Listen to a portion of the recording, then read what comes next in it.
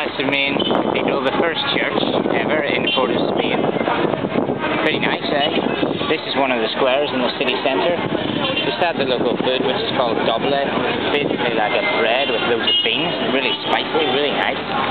FHS United Supermarket. This is pretty much the centre. Brian Lara Avenue. This is called Brian Lara Avenue. Although the real name of it is Independence Square North, but they name it after apparently. So yeah, chilling in the square. I am the only white person here, as you can see. Full of um, locals, not many tourists here.